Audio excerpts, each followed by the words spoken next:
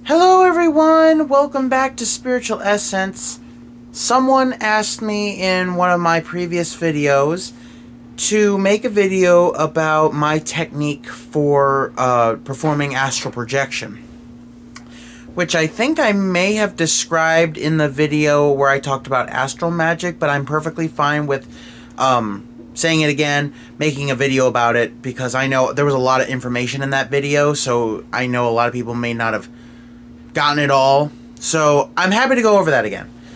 Um, first of all, for the people who are new to this, um, what is uh, astral projection or the astral realm? The astral realm is the spirit world, and astral projection is the ability to actually send your spirit out of your body to explore the spirit realm and any all other realms without dying quite an ability, and there's a lot of things you can do. Um, but first, um, a little bit of backstory about how I came to get this ability and how long it took. So, for anyone who's tried astral projection before, it is not an, an easy thing. Some people do have the gift naturally. Um, all they have to do is sometimes will themselves and they can exit their body no problem. And a lot of people do it knowingly when they sleep, but there's a lot of people who don't know it's happening. Sometimes, like, when we have dreams, a lot of the times that's us exploring the astral realm, but we don't really have much control because it is our body basically, our minds are still kind of in control subconsciously rather than consciously. So it's a little bit difficult to explain, but I have been studying astral projection for five plus years now, and it just took me recently to find a technique that worked. I've read so many books on techniques on trying, and none of them were working. The first book I ever read was Demystifying the Out of Body Experiences by Louis oh sorry, Luis Minero. And it's a good book. I love that book and I've read it so many times. But none of the techniques actually worked for me. It wasn't until I read DJ Conway's A Witch's Guide to the Astral Realms that I finally found a technique that worked and she explains it from a witch's point of view, which I feel like I understand more than Luis Minero's point of view because he views it as more of a teacher or um almost like a parapsychologist would. So I responded better with her technique and I finally like when I tried the technique that she talked about and it worked. I was so excited. Now, the thing is, this technique, while it may work for me, it may not work for you. So I'm going to go over what works for me, and then I'm going to go to some backup ones in case they don't exactly work for you. But I do encourage you that if this does not work for you, explore, experiment, practice. It took me five, at least five years to at least get a technique that worked. So it's not usually a quick solution thing. So uh, first, before we begin, uh, what do we do to start? There is a process. so, number one, you're going to have to make sure that you're comfortable. If you just came home from work, decompress a little do what you should uh, do what you do to relax. Either if it's watching TV, um, playing a video game, reading a book, taking a shower or a bath, what have you, just to relax a little. Make sure that you're in a right state of mind. If you're really angry or emotional, I would not suggest doing that because you're not going to get a successful reaction. So clear your head I would suggest a little bit of meditation. Um, the video that I made where I talk about velo, which is a way to loosen up your energy, I actually got from Luis Minero's book, Demystifying the Out of Body Experience. Um, I would suggest that you look at that video because it does work with loosening up the energy and making the spirit more flexible. Because if you're emotional or angry, your energy is going to be locked up. It's going to be tense, and it's going to be near to impossible to actually have a successful spirit um, a projection. So, um, if all that is set, make sure that you are wearing comfortable clothes. I would suggest loose fitting clothing, sweatpants, sweatshirt. Technically, if the weather permits and privacy permits, you could actually do this naked. But not everyone is ready for that. So, if uh, at the least, loose fitting clothing would work. Um, now, where would you do this? You can technically do this on the floor. You could do it on a bed. You could do it in a chair. To give you some advice, if you're lying down for this, you run the risk of falling asleep before you actually do this. So if you're worried about that, I would sit upright in a chair. Make sure the chair has actually arm holders. Because uh, once you have a successful projection, you might find your body kind of going limp and slumping over. I remember that I did this once upright like this in my bed. I was basically sitting and I went into a full projection and I went like this and I actually hit my head against the wall and it hurt. And not only that, it interrupted my projection, which caused my spirit to tense up, and it was hard to get back into that meditative state. So make sure that you are safe. um, above all things.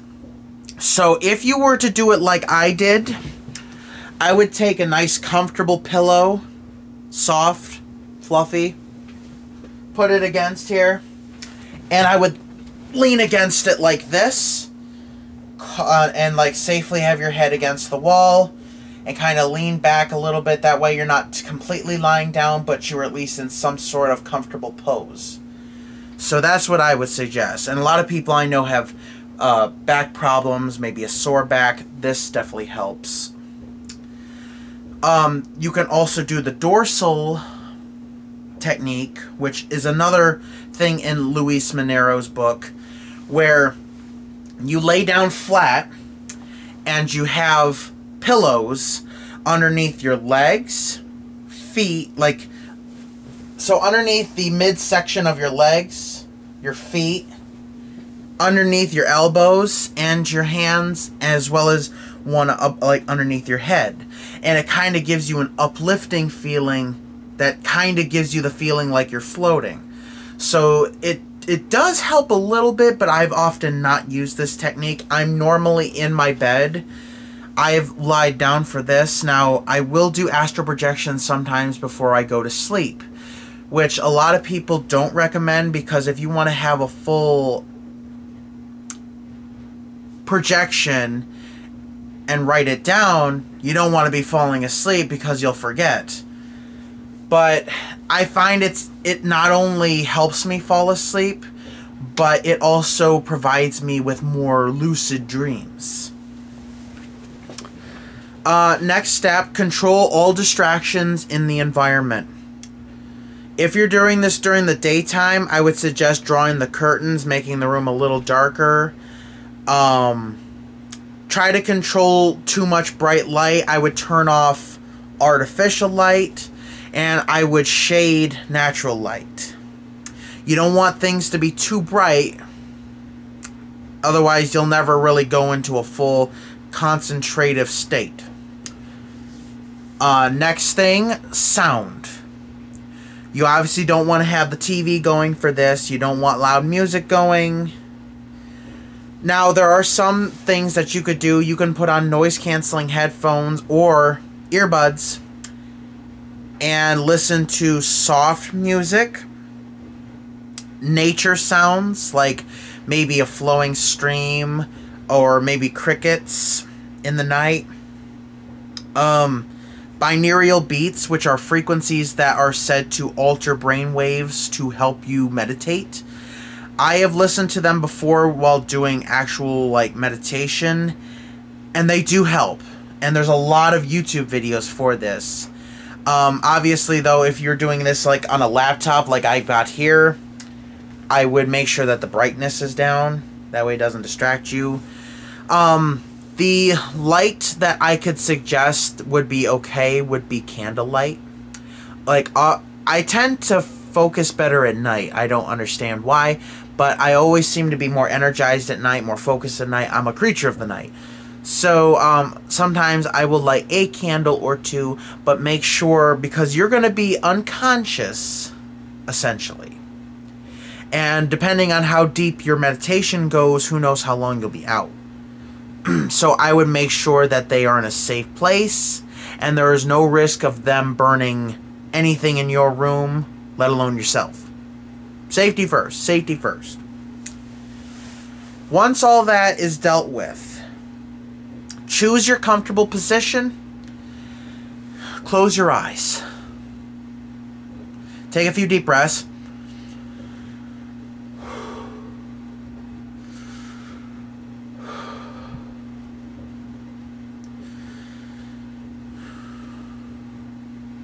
Clear your mind. Take a few moments. Now picture in your mind a place where you would feel absolutely comfortable.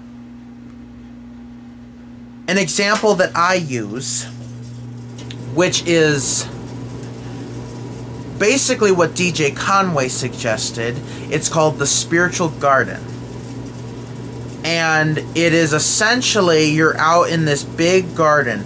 There's flowers, there's sunlight, um, there's butterflies and bumblebees, and a nice cobblestone path, and things like that. This is my spiritual safe place. Basically, your spiritual home base. So, if you play video games, it's basically like home base where you're most safest. You got all your supplies, you know the surroundings, and you can definitely be guaranteed that you're safe here. So, it doesn't necessarily have to be the garden, it could be anywhere. I've also done things where it's been a temple, I've been in my own temple, and I've also created one where I'm wading in a river that is gently flowing and I can feel the water and I'm I'm like up to my waist in the water and there's an altar before me. Because I like water. I'm very I love water energy. So it's so free flowing that of course I can vibe with it. I feel safe, I feel comfortable. You can make it day or night. You basically use your imagination to create your home base, whatever you want. Even if it's another version of your own house, that's fine. That's fine. So, once you complete that, download yourself into this new plane of existence. And what I mean by that is feel your arm, move your fingers a little bit while picturing this place, and visualize the spirit arm in your body being transferred to this place until eventually you see your entire self in this place. Now, using your mind, I know it's hard to explain, but bear with me. So take a look around with your mind's eye. And eventually, you'll find yourself moving your spirit body without moving your physical body. And once you get this feeling, it becomes a lot easier. Take a look at your spirit hand, move it. Take a look at your other hand, look at your feet, you'll tend to find yourself floating. You'll feel lightweight. If you have pain in your physical body, you won't have pain in the spiritual realm. Pain does not exist because it's only in the mind and body. So, now, once you've downloaded yourself and you can definitely feel yourself becoming more real in this new realm, Turn around to, till you see a cobblestone well. Just an, a nice cobblestone well. That's it. Move yourself over to it. Look down. You'll see a dark hole. You won't be able to see the bottom, you'll just see a dark hole. Before you, using your bare feelings, think about everything that made you mad that day. Everything that you're worried about, anything that makes you sad or angry. Think about that and transfer it into a ball of energy before you until you feel yourself completely devoid of all these negative feelings and things. You will see before you an energy ball that is completely like black or brown. It's just dark muck like color. Now take it and throw it down the well and then seal the well using your imagination. What I tend to do is envision a lid going over it, a metal lid. It goes like this, and then there are bolts that just go ching and seal it. That way the evil cannot come back up. You're basically banishing negative energy from your body so that you don't attract anything negative. Now, take a look at the cobblestone path. There should be a cobblestone path. Follow it. Usually when I follow it, I go to a nice gazebo outside. And it's within this gazebo that I've cast a lot of my astral spells. So usually there's like a marble altar in the center of it. If you want to cast a spell, you can. if you just want to float about in the garden, that's fine. I highly suggest that for your first time. That way you at least get the feel of astral projection and how it all operates. Now, if you go past the gazebo, you're going to keep following the path until you reach this golden gate. Yes, the bars are literally shiny gold. Now, you can see the path continues behind, beyond the gate, but you can't really see what is beyond the gate. You can't really see too much ahead. It is here that is the portal to the other worlds. Now, it is from here that you can choose to go back in time, visit a god or goddess. You can explore things in the earthly realm. You can explore things in the astral realm. It is from here that is basically your portal. Basically, like in a video game, there are portals to different levels. Basically, this can be for any level. I would highly suggest that you call upon your spirit guide. Now, everyone has a spirit guide. Everyone has an angel that watches over them. If you know them by name, call them out. You can do it in the physical, too. Just say, I ask for my spirit guide to please be present. I need your help guiding through where I want to go in the astral realms. And usually they'll come. You can talk to them, and they're very nice. Um, don't be afraid of them. They're very, very, very nice. Like some of the nicest beings that you would ever come across. They don't have judgment. They don't have anger. They don't add stress to your life or anything. They're very calm, soft spoken beings. Very, very, very light beings, I must say. it is from here that you can ask them to guide you to where you want to go. For example, if I wanted to go to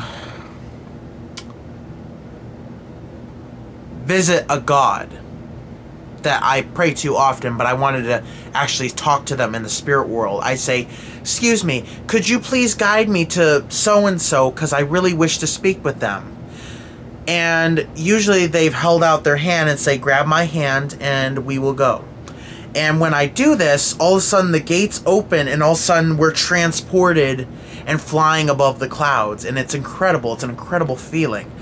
It, it you really feel lightweight and like nothing can hurt you. You just feel this rush of vigor and and ecstasy and it, it, it's amazing, uplifting, energizing feeling.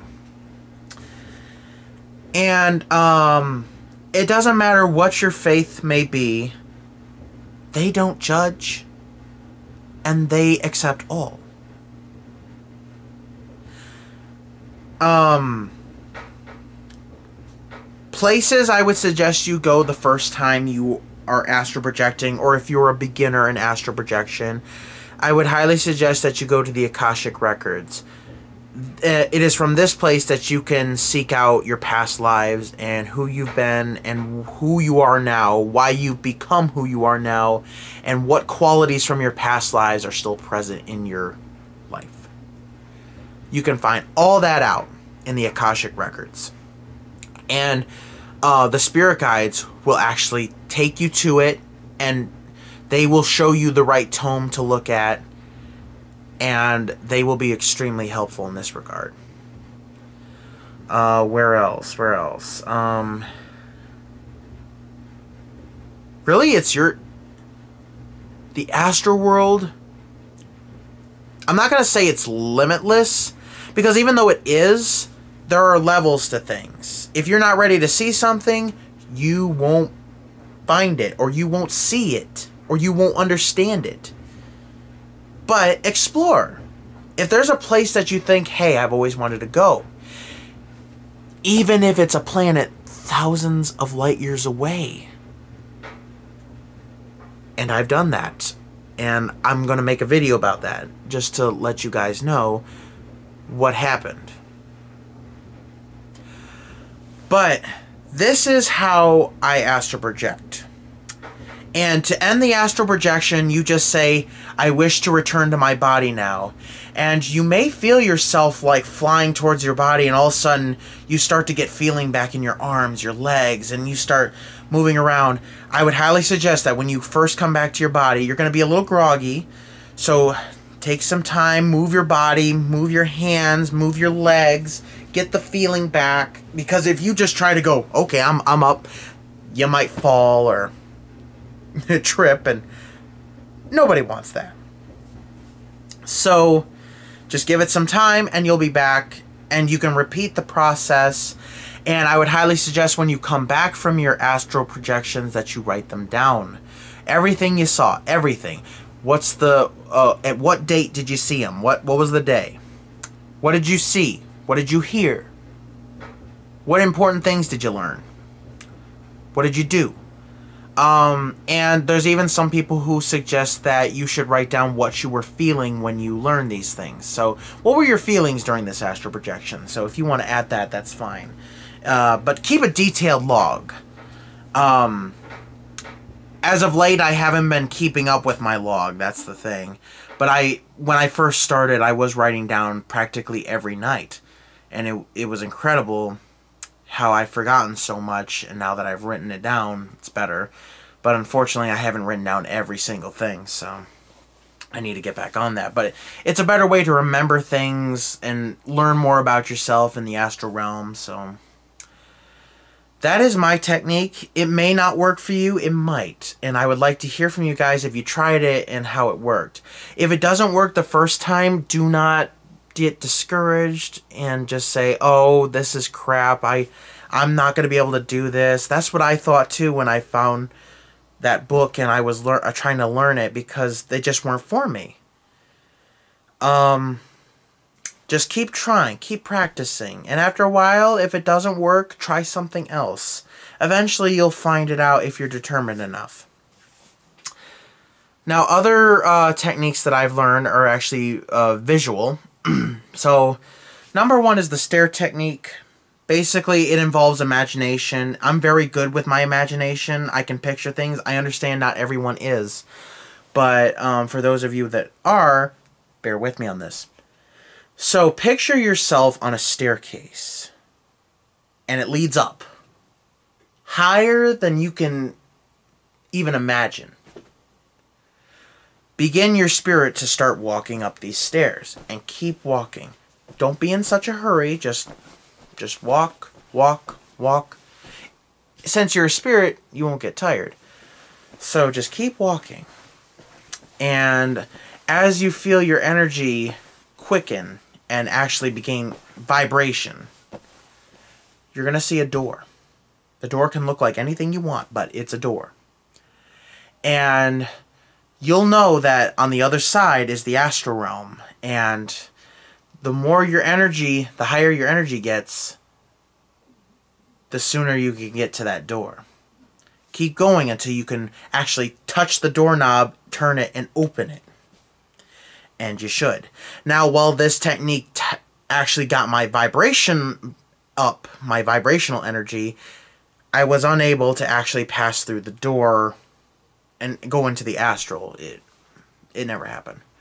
Another one is the wave technique. Imagine yourself in an ocean and the waves are lifting you up. Feel them lift you up. Feel them take you down. You're not in any danger. There's no sharks or nothing. There's no storm. You're not going to drown. Don't think of any of that. Just feel the climax and feel the decline. Just keep going and Imagine the waves getting bigger and bigger, taking you higher and then going wee until they eventually reach you very, very high. Until they actually shoot you up into the astral world. Once again, this was able to increase my vibrational energy, but I was unable to actually astral project with this one.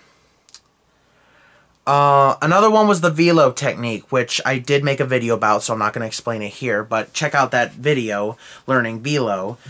It's actually a way of loosening up your energy so that it is easier for you to actually leave your body. Now, a few times I nearly had it.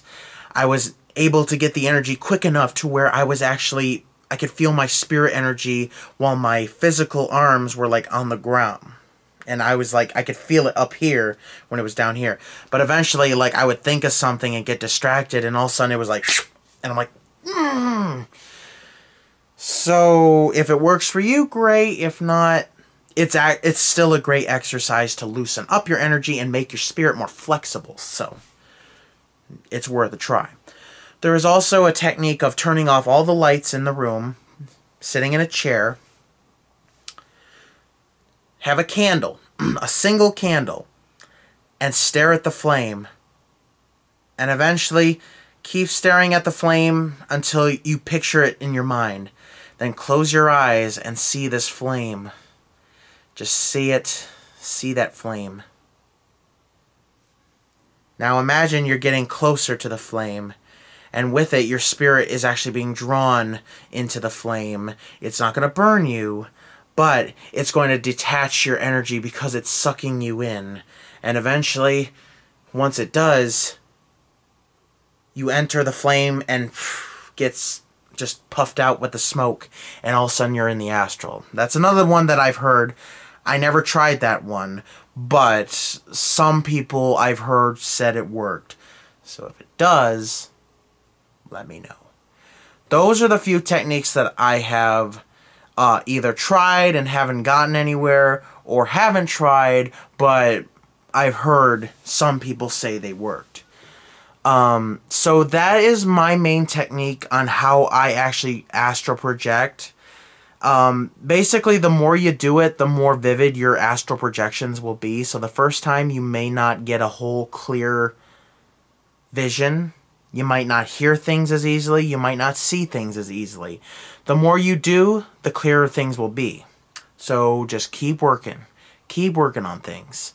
And don't get discouraged because that's going to lock up your energy and take even longer. I made that mistake way too many times when I was just like, you know what? Either this is a load of rubbish or I'm just not cut out to do this ability.